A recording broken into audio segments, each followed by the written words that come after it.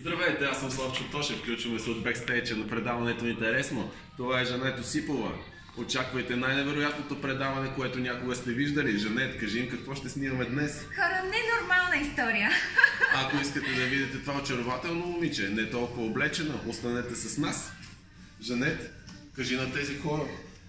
Трябва ли да има червена Аз точка? ще им покажа. Жанет ще ви покаже, аз ще го излъча.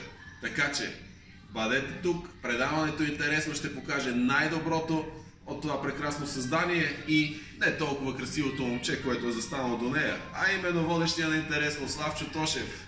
Интересно ще стане. Много интересно. Това е.